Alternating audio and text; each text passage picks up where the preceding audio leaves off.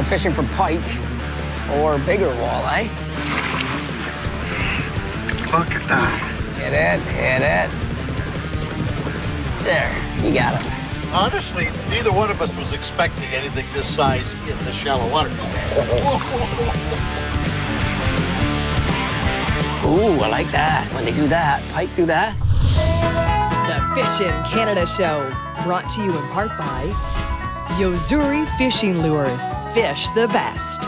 Mercury Outboards, go boldly. And Outdoor Canada, Canada's only national fishing and hunting magazine.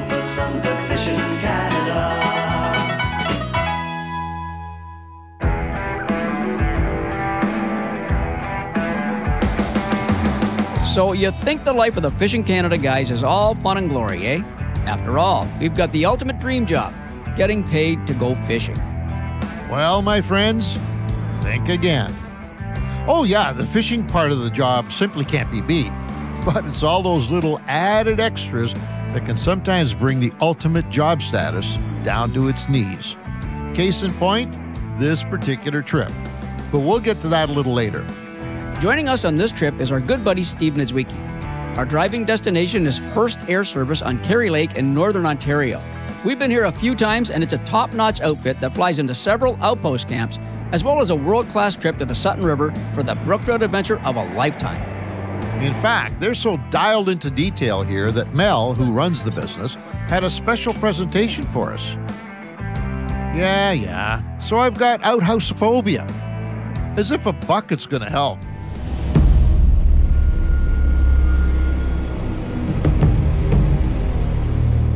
After all the fun and games had come to an end, it was time to board the plane and push off. Something we never get tired of is sitting in a float plane, hearing the roar of the engine, and of course, looking out the windows at the vast amount of flora and fauna. It's nothing short of breathtaking. Still to this day, and with the amount of flying we've done, we're constantly staring out into the green abyss and shooting pictures and videos with phones and cameras. And the only thing better than flying over the North Country is landing on an outback lake for a highly anticipated fishing adventure. As we settle in, we find out just how easy it is to unpack and set up camp by some solid preparation work. Hey guys, I just want to take a minute while we're putting all of our stuff away. Why don't I show you the latest in uh, sleeping bags and compression sacks? Because it's vital when you're going into the outback, uh, four, five, six guys flying in in a, in a small little beaver. It's important to get your, your volume down and the weight down. So what you've got here in front of you, believe it or not, are all of the essentials that four guys would need to survive for the course of a week. Uh, these bags are really cool because they're rated at zero, but when you pull the compression straps down on the sack and get all of the air out, they get into a nice tight little uh, little number like that. This compression sack is important here when you've got a lot of little goodies, odds and ends. You put them in the sack, you pull down on all the compression straps and get rid of all of the volume of air. Here is kind of cool. This is enough food to last us for at least four days. Four guys, four days worth of food. We also brought in um, tablets to purify the water and also a filter in case we want to actually do some slow filtering as well. All this fits into what? Almost a backpack. So the next time you go in the outback, think of compressing your stuff. Quantz Lake is a small body of water with a maximum depth of 30 plus feet, which is directly in front of the camp. There's a large fertile bay to the southwest and a long, narrow, shallow arm to the north. It's the perfect size for anglers to try and figure out the fish in just a few days. Although you'll find both pike and walleye here, Hearst Air sells it as a big pike lake with bonus walleye. On this shoot, I'm going to be the team starter, which means I'm up on the mound first. My relievers, Ange and Steve, will be my closers. In fact, if things go extremely well for me, they may be shooting a second episode. That's why we love fishing in Northern Ontario. The forecast is looking pretty good for the next few days sunny, hot, and not much rain. But this isn't our first picnic. The truth of the matter is, when you go on an outback adventure like this, expect anything and everything. We truly don't have a clue what the real conditions are going to be. But I'm fishing for pike. Look at that.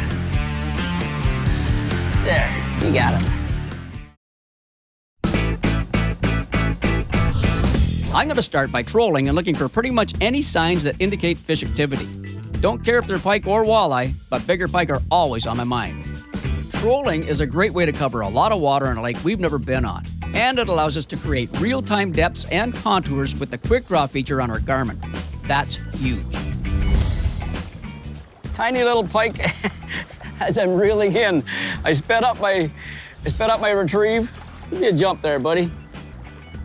Not what I'm looking for, but I, I just came up into a real shallow water. Now I'm in, actually in three feet. When I come up to, from 15 to 12 to six real quick, and this guy bit. So, but not what I'm after, but what I did notice is that I sped the bait up and he hit it. It was right behind the boat, like really, really close. So I don't know if that's an indication. There we go.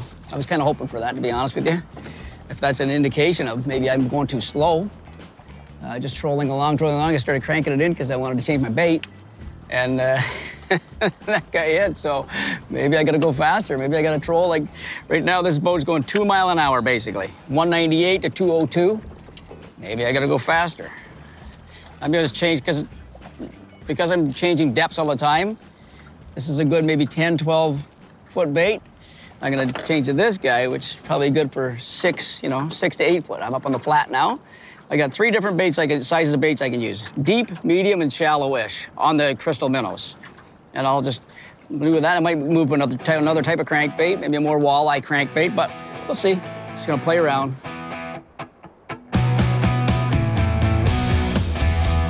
When I'm fishing for pike or bigger walleye, this is an interesting fish in that it is probably a perfect eater here. Easy little guy.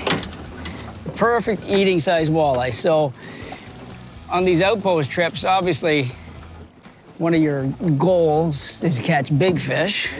I'm fishing pike, but in, I'm in a transitional area where it's kind of shallow, so I, I, have to run smaller baits. You know, inadvertently, you're going to catch walleye. That walleye right there, it looks tiny, but that's the best tasting walleye. Eh? And I'll show you something with these, with a lot of these lodges. So the slot limit, the size limit here is one fish over 18 and the rest under 18. This guy's probably a 16-ish. Look at that, right on the money of 16 inches right there. You're gonna get a bonus of those guys, even when you're fishing pike. That is perfect. So you're allowed your limit of those or one over the 18 inch mark and then the rest under. My trolling pattern is catching fish, but I can't get onto anything solid. I'm going to stick with it a bit longer, but I'm not going to get hung up on it. Ange and Steve are at the other end of the lake, and knowing these two guys, they'll be casting hard baits and looking for pike. Steve and I will be in exploration mode for the first portion of this shoot. We're simply looking to get some intel on how the pike are setting up and relay that info to Pete. If we get into anything decent in size, We'll just grab our phones or an action cam and shoot away. It's fun, relaxing, and often rewarding. We've been doing this a lot lately in case we get some great YouTube footage or even inserts for television episodes, much like right now.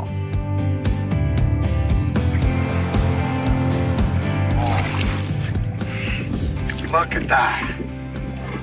Nice little Jim Dandy. Oh, I just barely got him hooked.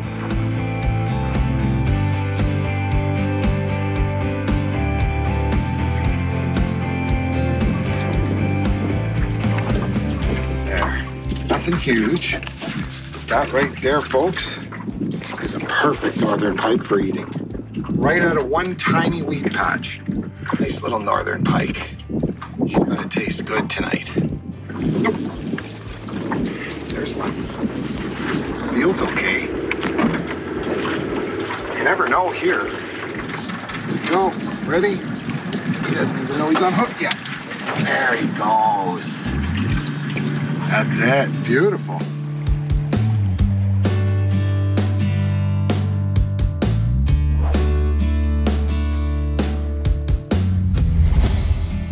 Yes, got one. As soon as I came up, now I went into real shallow water, and I got one. Like, I mean shallow. Come here, buddy. There, there he goes. I'm fishing, I ran along a 12 foot break line there, 12 to 14 foot break line. Nothing, nothing, nothing. I saw hooks, I saw hooks. I come into three to five feet. As soon as I got in there, this fish hit, and I think, I think I might have had a couple more bites in there actually too. Again, little wee sweet 16, best eating meat in the world.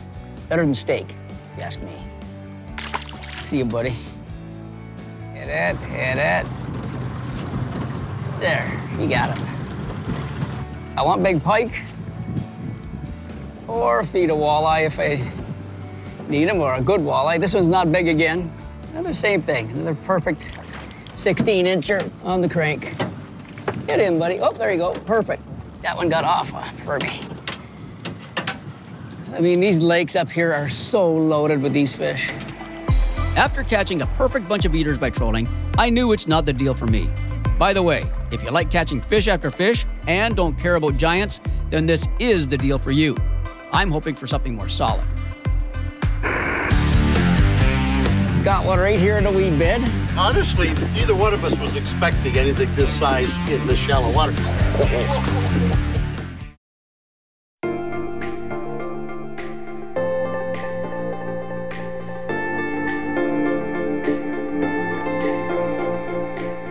next logical choice is casting with jigs. It's one of my favorite ways to catch pretty much any species of fish that swims. Yep, there's one. Feels very, very I don't know-y. Let's put on a big swim bait. Decided to LiveScope and try and cherry pick some fish. Ah, a nice walleye. Hello. I went to a bigger, a big bright swim bait, and I got a small walleye on a smaller version of that. Look at, look at how that fish engulfed it. Look at that. That's, you know fish are hungry when they do that right there. Nice, nice little walleye. I'm getting in on a short. I, I saw that, I saw two of these on LiveScope. I cast to them. I've been casting to, trying to cast to a bunch of fish. Uh, just uh, getting off the trolling thing. I thought, you know what? Let's try jigging them. I threw a smaller jig, got a smaller fish. I got to move out of here because the shore. And uh, so I thought, you know, I saw two fish move. I, they were 15 feet away on the LiveScope. I got it kind of pointed straight out, and I'm just trolling really slow. You kind of watch the distance on your screen. You're drifting this way, so you're gonna cast, you know, you're already past the fish. That, that time it worked. About, I've taken about 25 casts at fish and never worked, but, but that one did. So maybe I'm onto something. Got one right here in the weed bed. Don't know. It's got to be a pike. I got gonna back troll here, see what I can do. Oh boy, what am I gonna do here? Come on. Ooh, I like that. Got a little jig and a, and a cabbage patch. I'm gonna try it. Fit him in my net, but I don't know if he's gonna go or not. That's a good one. That's a good one, folks. Oh my God. Slow down, buddy. It's the guy I've been waiting for. Not bad little piker. That's in a little cabbage patch that I've been fishing. Uh, I fished it about three times, and I've caught keeper wall, like 16 inch walleye out of it. This guy's probably eating 16 inch walleye in there, so nice fish, nice fun. Threw a jig in there, and he didn't fight at all. I thought it was another 16 incher. Beautiful. Not bad. Here we go, buddy. On spinning gear. Okay, remember at the top of the show when I alluded to the fact that all is not roses in this job? As this trip went on, the conditions that the big guy doled out to us were nothing short of, now, how do I say this in a godly manner? Brutal. And if you haven't noticed yet, do you see the odd flying object that I have circling my boat? Well, as the air temps kept rising, a squadron of hungry horseflies decided that Pete here, along with Ange, Steve, and Vovar, cameraman, were prime eating material. These weren't those mini ankle biting houseflies you see on Lake Ontario while salmon fishing. Nor were they the relentless Canadian deer flies that hit you hard when backroading into a secluded lake. These were full fledged, heavyweight champion caliber horseflies. As for the weather conditions on top of the bug conditions, here's some stats that we learned after our trip. We had three days in camp, June 20th to 22nd. It was during the summer solstice, June 21st. So essentially, the three longest days of the year with daylight from 5:20 a.m. to 10:30 p.m. Not great for sleeping. Every day of our trip had a feels like temperature averaging 35 degrees Celsius, which is over 95 Fahrenheit, and every night was almost the same. We had a relative humidity reading of 88%. It ended up being one of the hottest weeks of the year in that part of Ontario. There were forest fires looming all around us. Not only do these conditions affect us as anglers, it affects the fish as well. That all said, as the true lake soldiers that we are, we kept pounding the water to a froth. As Pete plugged away trying to get a jig pattern going, Steve and I found a nice shallow pencil weed patch with scattered lily pads, the perfect hunting area for a big predator. Man, that is something else. Right in this shallow water where he should have been. But honestly, neither one of us was expecting anything this size in the shallow water, even though it's where he should be. But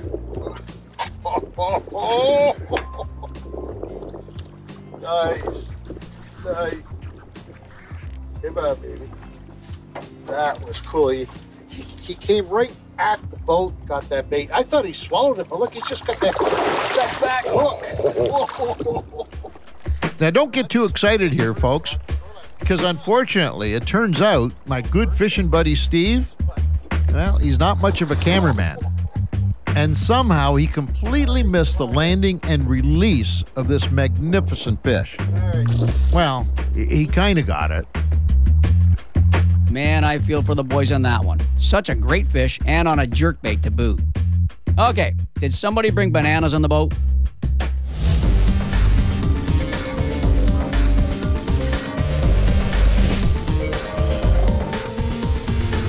Today's hotspot is a shallow cabbage weed point where Pete encountered his big northern pike at the end of the episode. The waypoint on the screen will get you right there. Pete and I discovered this spot on our first day of scouting Quantz Lake for both pike and walleye, and Pete returned to it on numerous occasions throughout the trip. Since it's very shallow, Pete concentrated on casting a soft perch colored jerkbait with a weighted screw lock wide gap hook. If you ever encounter pike in a shallow cabbage bed in northern Ontario, make sure you cover the entire weed bed thoroughly, as the fish could be anywhere. For more hotspots like this one, check out fishncanada.com.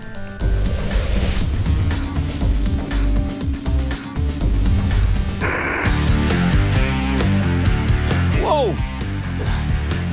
Oh boy. Oh boy, folks. Ooh, I like that. When they do that, Pike do that.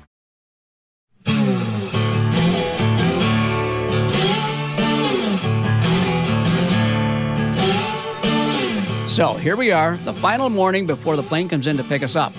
We've only got a couple of hours to try and boat something big. As you can see, the weather has turned for the better with a nice overcast sky. Such a welcome reprieve from that relentless blazing sun. But wait, those overcast skies might not mean we're in for some rain. We can smell smoke. The reality is, this is right in the middle of an Ontario forest fire that is devastating the North Country. The sky is literally hidden by a band of thick smoke. We know the plane can't fly and land in these conditions, and we also know that the safest place for us to be right now is on the water. So, back to fishing. While scouting around in the southwest end of the lake, I stumble on a gorgeous big shallow cabbage weed bed that just oozes pike and walleye. It's too thick to throw a jig or a treble hook jerkbait, so I'm opting for a soft jerkbait rigged weedless on a single wide gap hook. I'm in three feet of water, and in this little wee cabbage patch that Ange and I found the other day. Look at that guy. Here, buddy. Yeah, you know what? That's a good eating size pike right there. And trust me, these things are delicious. They are absolutely delicious. That's the perfect eater right there. Nice back on them. You get some good meat off of it. Very aggressive fish. That's in two feet of water. And as you can see now, it's gotten overcast and I got a jacket on. All of a sudden, it was a a heat wave. I mean, the worst heat wave of the year so far. This is mid-June, and uh, and now this weather change is like this is a 180 for sure. This is like a total change of weather. Don't know what to expect. And that's a little pike. Another three pounder. That fish swam with my bait. I missed him. And then he swam with it again and I got him. We want another eater. Lots of good eating fish in this lake, man. I'll tell you, if you come up here for an intend on a shore lunch, woo, you're gonna eat good. Between the walleye and the pike, you're gonna eat real good. Whoa! Oh boy. Oh boy, folks. You never know. He's fighting, he's fighting like he means something. Gonna loosen up my drag here a little bit. Ooh, I like that. When they do that, pike do that. It's gotta be a pike, it's not a walleye. Oh, he got off. Oh, man, I got a good hook set on him. Ah, perfect set of cabbage here. Just caught that smaller pike. I weather change in the shallow cabbage like that. I got a good drill on that fish too. Ah, man. I've been waiting. It's a good one, as you saw.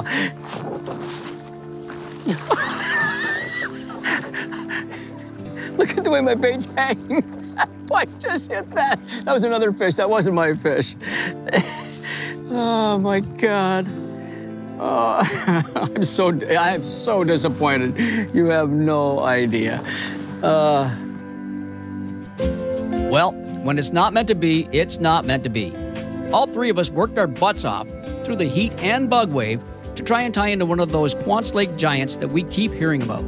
Between Ange and Steve having a camera mishap on their biggest pike encounter of the trip, and then this last fish of mine that, for whatever reason, with a nasty hook set, heavy rod, and 50 pound braided line, just pulled off.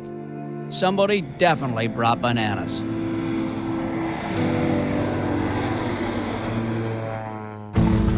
Getting there. Brought to you by the Outdoor Journal Radio Podcast Network.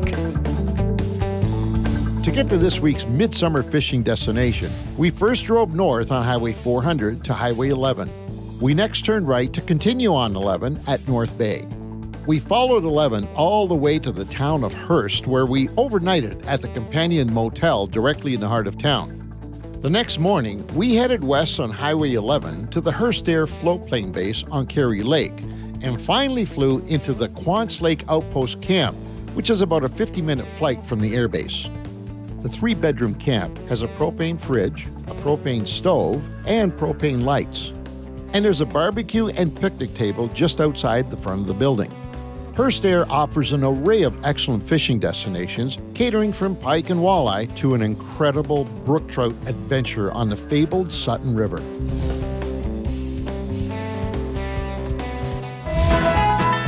Fish'n Canada Show, brought to you in part by Princecraft Boats, the spirit of boating.